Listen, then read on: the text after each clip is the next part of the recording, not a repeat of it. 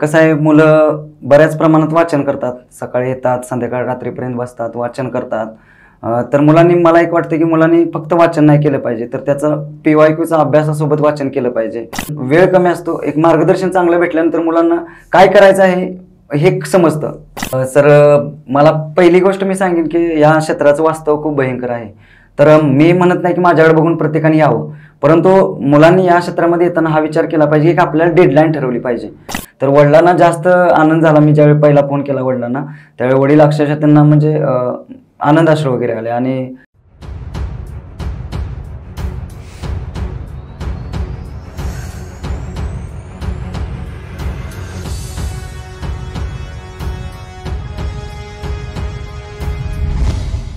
नमस्कार विद्यार्थी मित्रांनो द इन्फिनिटी अकॅडमीच्या युट्यूब चॅनलवर मी विशाल लिमन आपल्या सर्वांचं सहर्ष असं स्वागत करतो. विद्यार्थी मित्रांनो नुकतंच दोन हजार बावीसचा पी एस आयचा रिझल्ट लागला आणि या पी एस आयच्या रिझल्टमध्ये राज्यात प्रथम क्रमांकाने नुकतीच अमोल घुटकुडे सर यांची निवड झालेली आहे. आज आपण सरांची मुलाखत घेत आहोत आणि या मुलाखतीच्या माध्यमातून सरांचा कौटुंबिक पार्श्वभूमी असेल शैक्षणिक पार्श्वभूमी असेल त्यानंतर त्यांचा स्पर्धा परीक्षेचा जो प्रवास आहे हा पूर्ण प्रवास आपण या मुलाखतीच्या अनुषंगाने जाणून घेणार आहोत. ऍक्च्युली मुलाखती तुम्ही शेवटपर्यंत पहा. एक ते दोन प्रयत्नामध्येच सरांनी हे यश मिळवलेलं आहे आणि नुसतं यश मिळवलेलं नाहीये.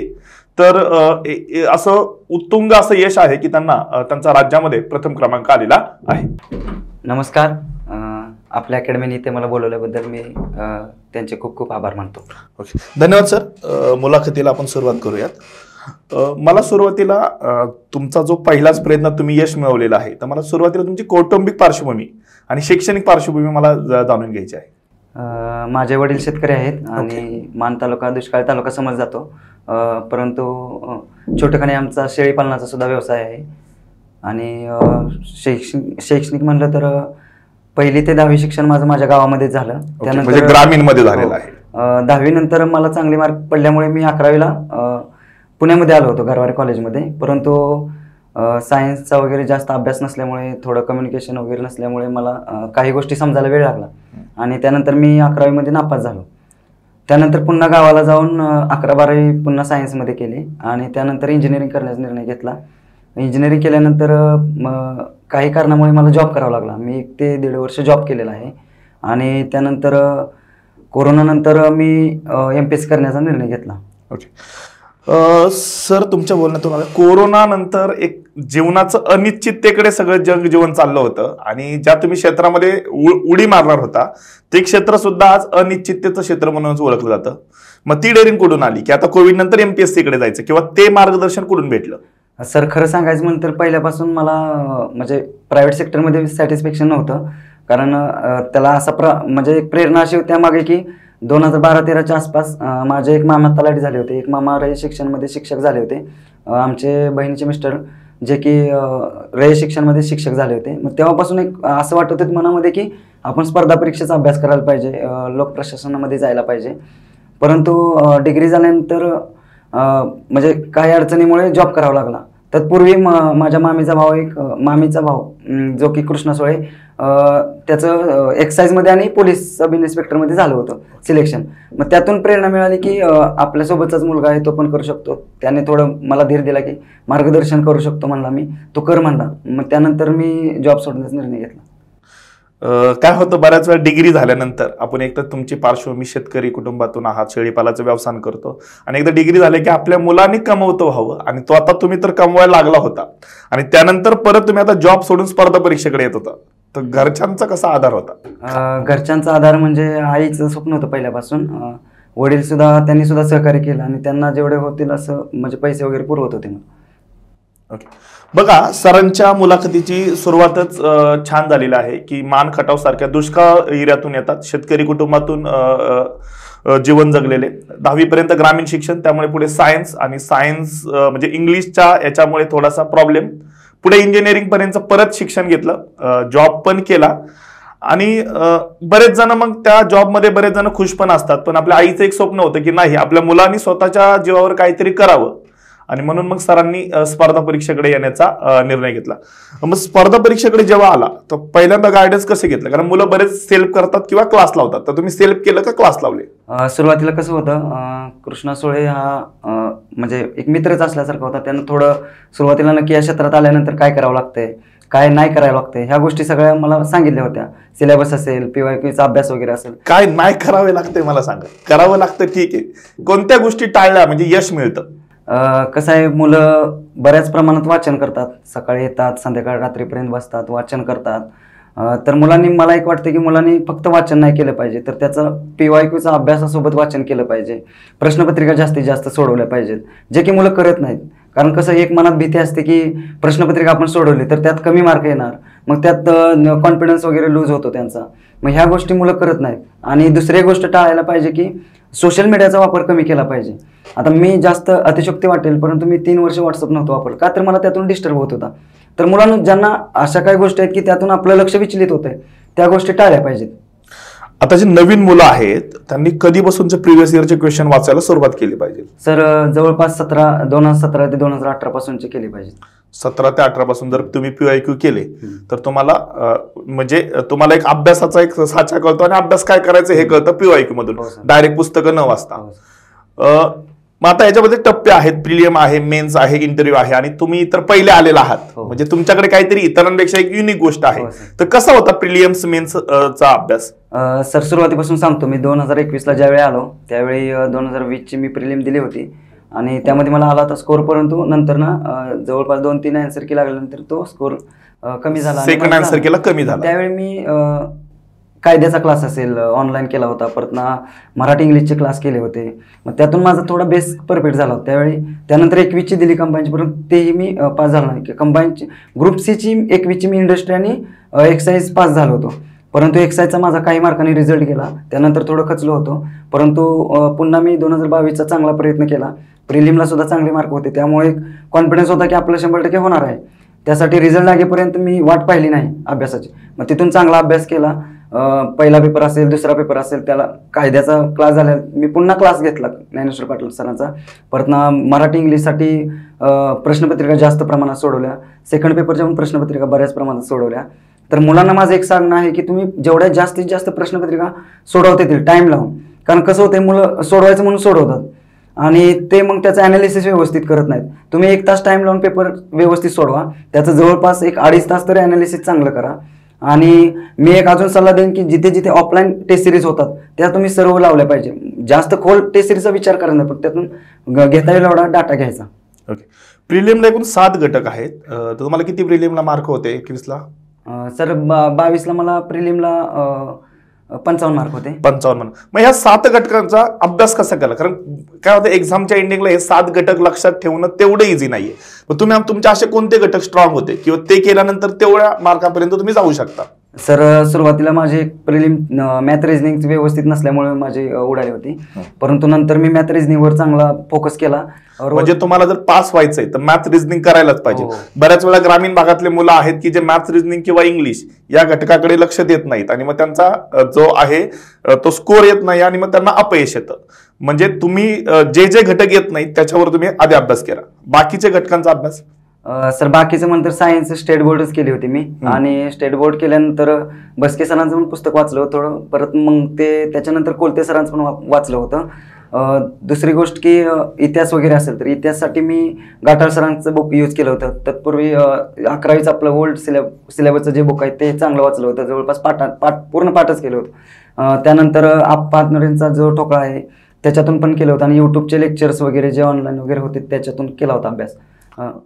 मग सगळे घटक तुम्ही परिपूर्ण केले होते का काही घटक तुमचे स्वतःचे स्ट्रॉंग होते सर स्वतःचे स्ट्रॉंग नंतर राज्यशास्त्र वगैरे असेल भूगोल. असेल. ह्या ज्या ज्या गोष्टी मला समजत होत्या त्या जास्त करण्याची गरज मला लागलेली नाही म्हणजे ओके म्हणजे काही घटक स्ट्रॉंग होते हा. काही घटक हे नव्हते त्यातल्या त्यात तुम्ही मॅथ्स रिझनिंग तुमचा स्ट्रॉंग हो. नव्हता नंतर तुम्ही हो. तो स्ट्रॉंग हो. केला आता आपण थोडं मेन्सकडे येण्यासाठी मला एक प्रश्न विचारायचा आहे की आपण एकतर अकरावी मध्ये फेल झालो कारण आपण ग्रामीण भागातून आलो होतो आणि इंग्लिशचा थोडासा हे असल्यामुळे आणि तुम्ही तर आता पहिले आला आहेत. म्हणजे तुम्हाला इंग्लिशमध्ये चांगले मार्क्स पडलेले आहेत. हो. तर या इंग्लिश विषयावर कशी मात केली? सर मला काय म्हणायचं इंग्लिशची सर्वांनाच भीती असते.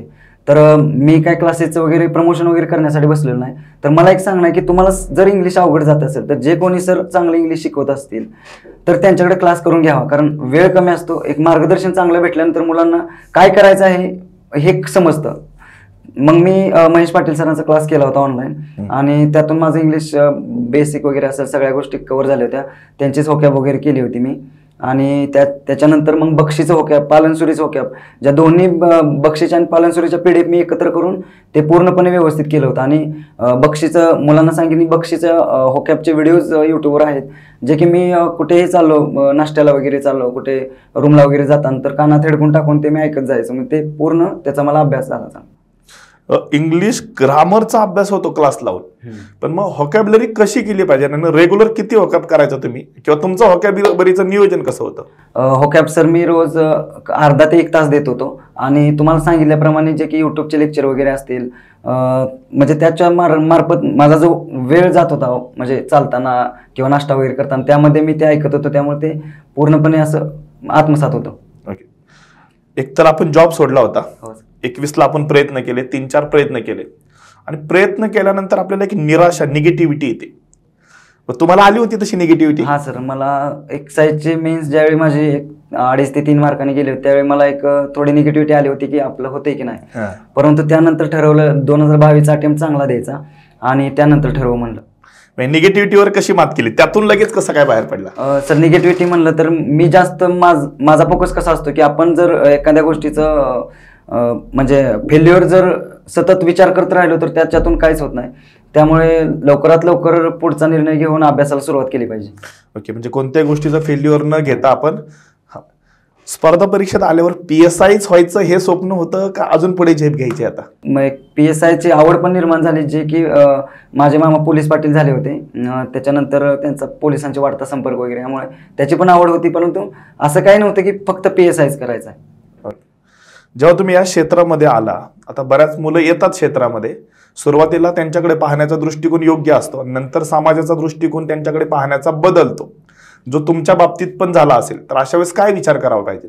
सर माझ्याबद्दल सांगेल तर मला सुद्धा असं वाटत होतं की म्हणजे एक ॲव्हरेज विद्यार्थी होतो पहिल्यापासून आणि गावाकडे वगैरे गेले तर सर्व लोक विचारायचे की अजून काय करतोय? तू जॉब सोडला आहेस मग एवढी स्टॅबिलिटी आली असताना पण तू असा का निर्णय घेतला? म्हणजे ह्या सगळ्या गोष्टी होत्या. परंतु मला कुठेतरी कॉन्फिडन्स होता की मी एक ते दोन वर्षामध्ये करू शकेन. पण माझ्यासुद्धा काही चुका झाल्या आणि त्यामुळे मला एक तीन साडेतीन किंवा चार वर्षाचा कालावधी लागला. ओके. त्या त्या कालावधीमध्ये तुम्हाला ते यश भेटलेलं आहे. पी एस आयचं जर बघितलं तर प्रिलियम प्रिलियम झाल्यानंतर मेन्स आणि मेन्सचा स्कोअर आल्यानंतर मग ग्राउंड तोपर्यंत आपण ग्राउंड करत नाही. तर ती ग्राउंडची मेहनत कशी होती? सर मेन्सचा स्कोर आल्यानंतरच मला कळालं की आपलं होऊ शकेल आणि त्यानंतर मग मी लगेच ग्राउंडचे क्लासेस वगैरे जॉईन केले होते. पठाण सर म्हणून तळजायला आहेत त्यांचे त्यांच्याकडे क्लासेस वगैरे केले का? तर माझा असा विचार काय होता की एक आपली ग्रामीण पार्श्वभूमी होती. फिटनेस वगैरे होता परंतु मुलांना कसं होतं जास्तीत जास्त दिवस मुलं अभ्यास कराय बेंचवर बसतात वगैरे. तर त्यातून कसं होतं एक फॅटिलिटी येऊन गेलेली असते. तर ते म्हणलं की इंजुरीचा वगैरे प्रॉब्लेम नको त्यासाठी मी क्लासेस वगैरे केले होते. ओके म्हणजे क्लासेस केले आणि त्याच्यामध्ये ते तुम्ही कव्हर करून घेतलं. आणि इंटरव्ह्यूच्या टप्प्याची तयारी कशी केली? इंटरव्ह्यूला ठराविकच वेळ मिळाला. एक एक महिन्याच्या आसपास वेळ मिळाला होता सर म- एक तीन ते चार मॉक दिल्या त्यासाठी आणि त्याच्या मार्फत माझा म्हणजे चांगला सराव झाला. कम्युनिकेशन स्किल कसं वाढवलं? कारण बऱ्याच मुलांचं काय आहे अभ्यासात हुशार असतात पण इंटरव्ह्यूला बोलताना त्यांच्याकडचे कम्युनिकेशन स्किल जे असतं ते बऱ्याच विद्यार्थ्यांमध्ये नसतं. तर- ते कसं? का का तुम्हाला ते पहिल्यापासूनच होतं? सर पहिल्यापासून होतं असं म्हणता येणार नाही परंतु ज्यावेळी प्रिपरेशनचं टायमिंग होतं त्यावेळी आमच्या अहिल्या लायब्ररीमध्ये एक पाच ते सहा जणांचा आमचा ग्रुप होता. आणि त्यामध्ये आम्ही डिस्कशन वगैरे करायचो. तर त्या डिस्कशनमुळे बऱ्याच गोष्टी क्लिअर झाल्या. की एकमेकाचे प्रश्न समजत नसतील किंवा बोलण्याचं धाडच वाढलं चार मित्रांमध्ये तर त्याच्यातून सुद्धा झालं आणि इंटरव्ह्यूच्या वेळी सुद्धा आम्ही ग्रुप डिस्कशन केलं होतं. समोर एक विद्यार्थ्याला बसून बाकीचे जण त्याचा इंटरव्ह्यू वगैरे घेत होते. म्हणजे याच्यातून इंटरव्ह्यूचा चांगला अभ्यास झाला. स्पर्धा परीक्षेमध्ये गेल्यावर अजून एक निगेटिव्हिटी बारा तास अभ्यास आठ तास अभ्यास. तर तुमचं स्वतःचं शेड्यूल कसं होतं अभ्यासाचं? आणि तुम्ही स्वतः ग्रुप डिस्कशन केलं आहे का? आणि केलं असेल तर त्याचा किती फायदा झाला तुम्हाला? सर माझं शेड्यूल म्हणलं तर जनरल जे मुलं करतात त्याप्रमाणेच होतं. परंतु मी पण थोडा आळशी होतो. कधी नऊला जायचो कधी दहाला जायचो. म्हणजे असं फिक्स टायमिंग नव्हतं.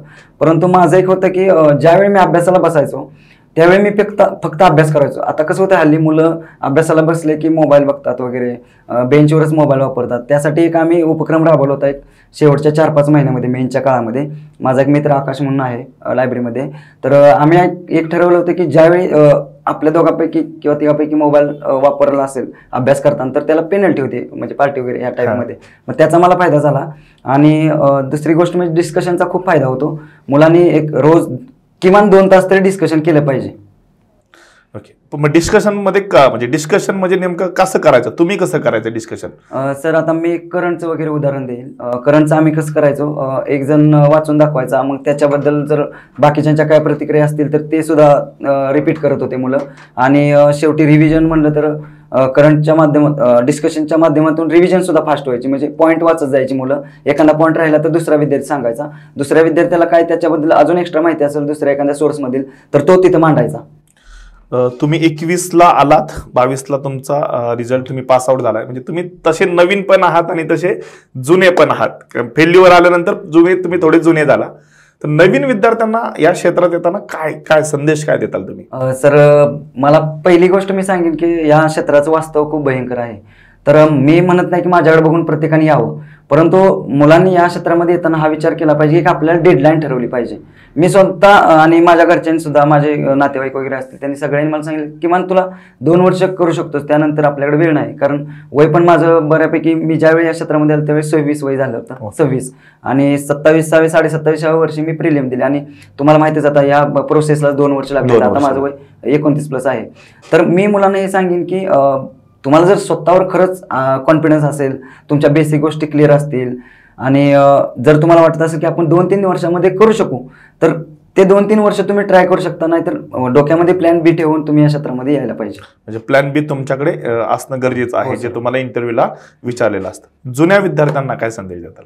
अं, जुन्या विद्यार्थ्यांना आपण काही मुलांनी असे जुने विद्यार्थी आहेत सर माझ्याकडे की जे प्रिलियम पास होत आहेत. म्हणजे पण ज्यांना मेन्समध्ये आता अपयश येते कारण का मेन्सचा कालावधी कमी असतो आणि त्याच्यामध्ये मराठी असेल इंग्लिश असेल पेपर वन पेपर टू. आणि मग बऱ्याच जणांना ते फोकस करता येत नाही त्या विषयाकडे त्या दोन्ही गोष्टीकडे. तर ते त्यांना संदेश काय देतात? मराठी इंग्लिशचा विषय म्हणसाल तर सर ठराविकच रेफरन्स बुक आहेत. तुम्हाला किती मार्क होते पेपर वनला पेपर वनला सर मला एकोणऐंशी पॉईंट पंचवीस प्रश्न होते माझे. गुड चांगले मार्क होते. आणि सर मराठीला जर म्हणलं तर जे सर्वजण वापरतात ते सोर्स सगळ्यांना माहीत आहेत. वाळंबे सर वगैरे असतील. आणि इंग्लिशला ज्याच्या त्याचा प्रश्न आहेत कोणते क्लास वगैरे करायचे. पण मी एक सांगेन की तुम्ही जास्तीत जास्त प्रश्नपत्रिका सोडवा. मराठी आणि इंग्लिशला प्र- प्रश्नांचं प्रॅक्टिस होणं खूप गरजेचं आहे. कारण खूप छोटे छोटे प्रश्न आपण प्रॅक्टिस नसल्यामुळे चुका होतात आपल्या. तर ते मी जवळपास तुम्हाला सांगतो दोन हजार अकरा पासूनच्या दोन हजार बावीस तेवीसपासून पर्यंतच्या सर्व मराठी इंग्लिशच्या प्रश्नपत्रिका सोडवल्या होत्या. आणि एवढ्या भयंकर प्रमाणात प्रश्न आहेत की ते सोडवल्यानंतर तुमचे मराठी आणि इंग्लिशचा विषय म्हणजे मार्गी लागू शकतो. आणि इंग्लिशला होकॅप खूप गरजेचं आहे. तुम्ही बक्षी करा पालनसुरी करा ब्लॅक बुक करा कोणाचा क्लास करायचा ते पण करा पण रोज होकॅप केली पाहिजे एक ते अर्धा तास. तुमच्या यशामागचं खरं गमक तर मला पीओ ऐकू दिसते किंवा प्रश्नपत्रिकेचा सराव दिसते कारण जेवढे जास्त प्रश्न सोडू तेवढं आपल्याला म्हणजे बऱ्याच वेळा काय होतं आपण तासन तास अभ्यासिकेत वाचत बसतो आणि आज पेपरला डायरेक्ट प्रश्न सोडवतो. मग वेळेचं मॅनेजमेंट होत नाही आपल्याकडून छोट्या छोट्या चुका सुद्धा होतात. त्या टाळण्यासाठी खरं तर प्रिव्हियस इयरचे क्वेश्चन असतील किंवा काही ऑफलाईन टेस्ट असतील. जेवढ्या तुम्ही जास्तीत जास्त करताल तेवढा तुम्हाला फायदा होईल. ज्यावेळेस तुमचा इंटरव्ह्यू होता त्यावेळेस तुम्हाला कायद्यावर प्रश्न होते म्हणजे इंटरव्ह्यूचे प्रश्न कसे होते? कशा प्रकारचे प्रश्न होते? इंटरव्ह्यूला सर जनरल इंटरव्ह्यू झाला माझा. जॉबवर आणि माझ्या म्हणजे डिग्रीच्या रिलेटेड थोडा झाला. थोडा जनरल झाला घरची पार्श्वभूमी वगैरे. थोडा इतिहासावर पण गेला मध्ये मध्ये. काही योजनावर गेला. आता सध्या ज्या योजना आल्या त्यावर. आणि फिटनेस फिजिकल फिटनेसवर गेला.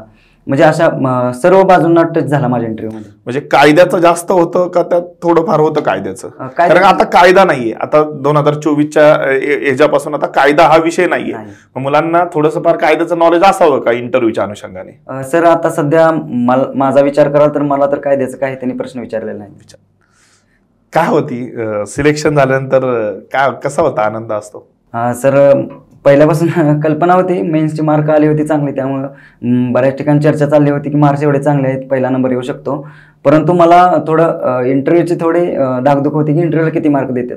किती होते मार्क्स इंटरव्ह्यूला मला अठ्ठावीस मार्क आहेत. ठीक आहे. काय होते घरच्यांची प्रतिक्रिया सिलेक्शन झाल्यावर?